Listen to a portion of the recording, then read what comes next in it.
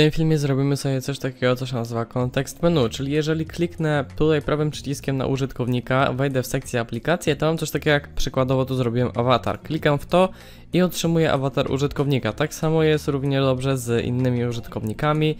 Są to takie skróty i one bardzo ułatwiają właśnie korzystanie z komend na Discordzie.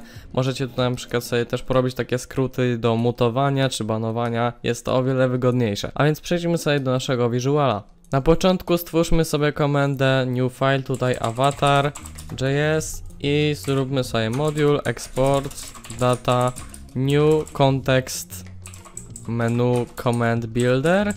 Ustawmy sobie nazwę, niech będzie to avatar i ustawmy sobie też typ, czyli application command type będzie to user. Jeżeli byłoby to message, no to, to po prostu ten kontekst menu by się wyświetlało przy właśnie wiadomościach. My sobie zrobimy to przy użytkowniku.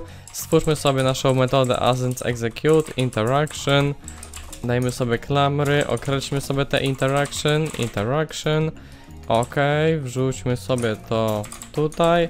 No i zróbmy sobie interaction defer reply.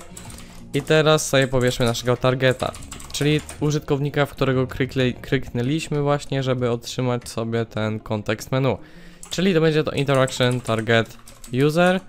I teraz pobierzmy sobie awatar jego. Awatar się pobiera poprzez target display avatar URL i tak, takiej metody sobie użyjemy. Na końcu damy właśnie sobie odpowiedź, czyli edit reply. Będzie tu content i mamy sobie target display avatar URL.